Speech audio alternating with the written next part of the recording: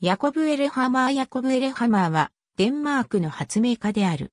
1906年9月12日、42メートルの動力飛行に成功した。日本語表記は、エレハンマー、エレハメルなどとも、バケベルに生まれた。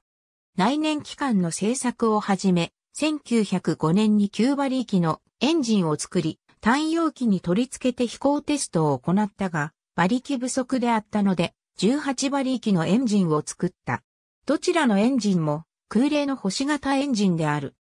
18馬力のエンジンをつけたエレハマーナンバーワン機は1906年9月12日にデンマークのリンドホーム島で高度75センチメートル、距離42メートルの飛行に成功した。アルベルト・サントス・デュモンの飛行よりも1ヶ月ほど早い飛行であるが国際航空連盟の公認飛行とはならなかった。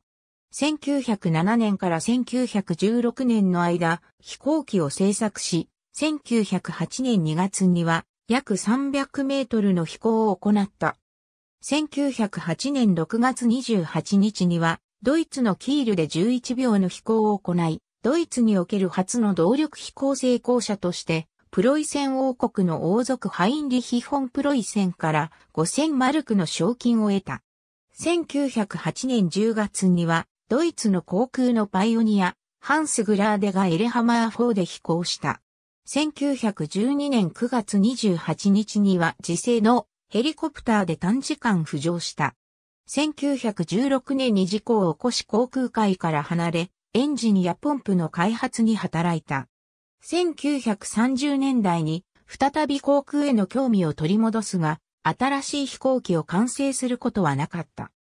チャールズ・シンガーた著、技術の歴史旧鋼鉄の時代地区は処方。1975年、RG グラント著、世界航空機文化図鑑取人間から、スペースシャトルまで東洋書輪、2003年、ISBN48 億8721万6351、根本聡、パイオニア飛行機物語より、ただし、カール野党がハノーファーで1903年に動力離陸に成功していた可能性はある。ありがとうございます。